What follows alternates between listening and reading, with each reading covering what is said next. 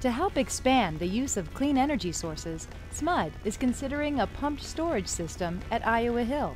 This would be a way to reuse water from the Slab Creek Reservoir near Camino. A new reservoir on top of Iowa Hill would be connected to Slab Creek Reservoir by a tunnel inside the mountain. Water would flow down from the upper reservoir through an underground powerhouse to generate electricity when power is in high demand.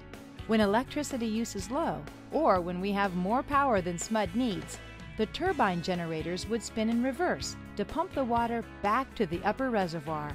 This system would allow us to use the water for power generation over and over again, making better use of our existing resources.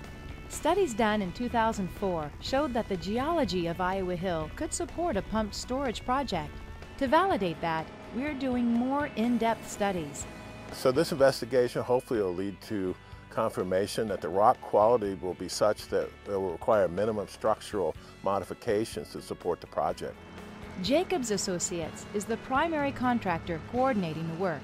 The company specializes in underground design and rock engineering. As part of our preliminary investigations for this project, we're conducting uh, exploratory core holes. Uh, we're obtaining continuous rock core. It's about a three and a half inch diameter stick of core.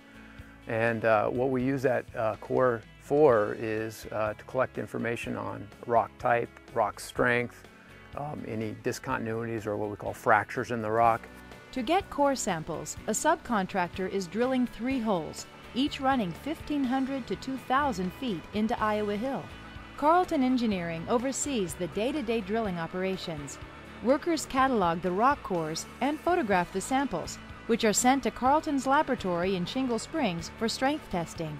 So this is an example of what we're drilling into on core hole one. We're in about 1,300 feet and what we have encountered is a lot of what we're calling phyllite and schist, which is basically metamorphic rock in different degrees of metamorphism. This happens to be a very highly metamorphosed rock, a nice solid rock, and this is the type of rock that we're, we're hoping to find.